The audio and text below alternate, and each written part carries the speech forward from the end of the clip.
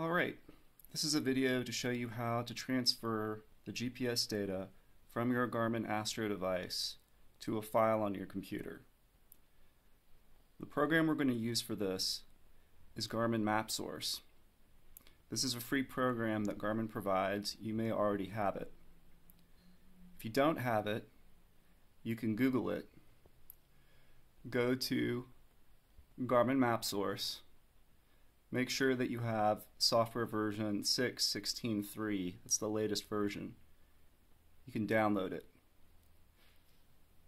If you download it and you find that it gives you some sort of error message about not having uh, a registered version or product installed, you can take the downloaded file, which I have highlighted here,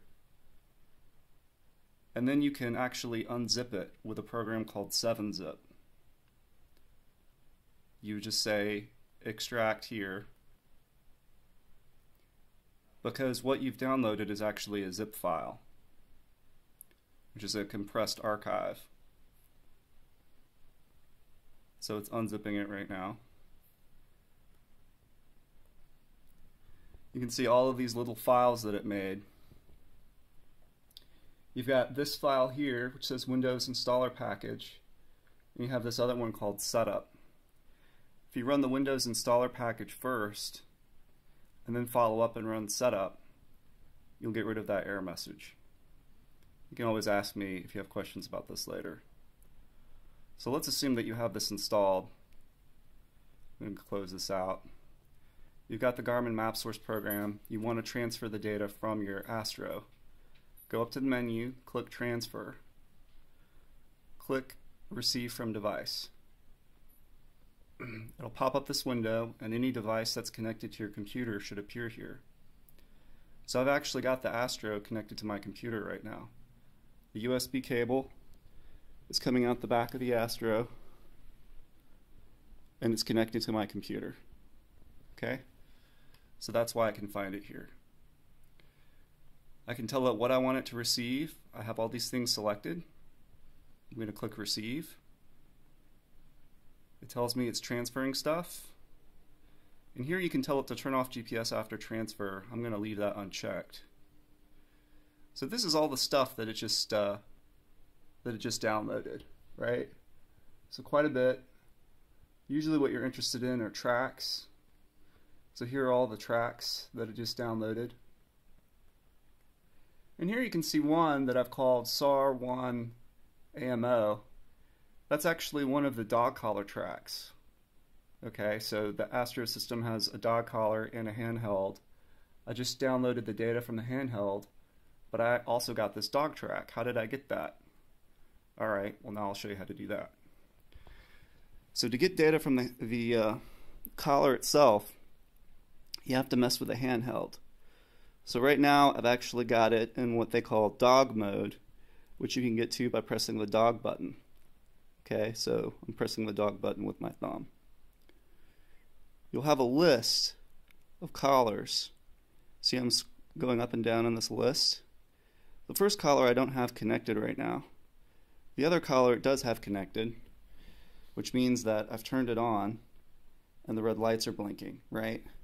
So the handheld and the collar are aware of each other. So what I do now is I go to the collar that it has selected or that it, that it knows about, which is this green one, and I press enter. This puts me into a menu about this collar. It tells me how much battery it has. It actually tells me a lot of stuff. Okay, it tells me that it's communicating with it. Uh, tells me that it's got a good GPS signal, etc. Um, it tells me what its name is. Okay. Now, if I go and I press the menu button on my handheld, sorry about the light, but if I press the menu button, I get a special menu that only appears from here, right? This is the only way to get to this menu. So I've got stop tracking, identify dog unit, blah, blah, blah, blah. But what I really want is to transfer the dog unit track. Okay, so I've selected that and I hit enter. It's connecting to the collar and it's downloading the data. Okay? So what it's doing right now is it's actually taking the data from the collar and it's putting it on the handheld. It's almost done. Ready to communicate with PC. Press OK when finished downloading track data. Okay, so I don't hit OK yet. So I'll go back to my PC here. And I'll hit transfer, receive from device. Okay, it's just telling me that's going to add all the data to the current document. That's fine. Okay, once again, it's looking for the device, just like it did before. And there's my Astro. I'll hit receive. Data was successfully received. Okay, and it's basically telling me, hey, wait a minute, you already have this in your document. Do you want to replace it? I'll say yes. And here you can see that all of the, the track data off my, my dog collar, it just added all that junk down here. See all that?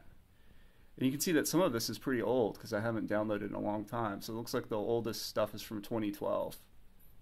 Okay, so this is all dog collar data that I got. Actually. So from here to here, this is all dog collar data that I just got off. And now I can work with it just like I can with normal data. So if I actually want to get this out of this program and into another program, I go to File and I hit Save As. And there's a bunch of different options that gives you in terms of the format. So you've got the Garmin database uh, format, which is actually very useful. And if you don't have a reason to take it out of this format, I recommend keeping it in that format. But the most general format that it lets you output is this GPX format. And you can take that GPX and you can put it in just about anything. So I'll give it the uninspired name, untitled, right? Um, there's a problem with Garmin application. Okay, well, let's pretend that didn't happen. Haha. Alright. Thanks. Bye.